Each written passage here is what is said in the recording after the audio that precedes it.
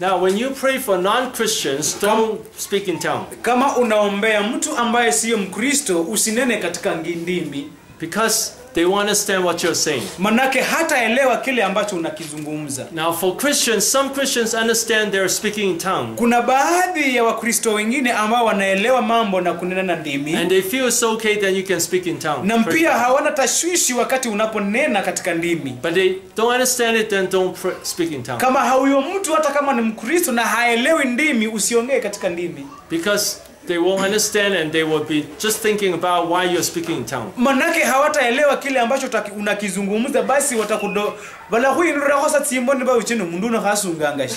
Now, in some situations, speaking in tongue can bring in a stronger anointing. wakati mwingine kuongea katika ndimi basi kuweza kukaleta ule upako wa nguvu zaidi But when a person is not open, then he will not be able, you know, be changed by the Lord. na sasa kama huyo mtu ambaye unamwombea hayuko tayari hajafungua moyo wake hawezi akampokea kristo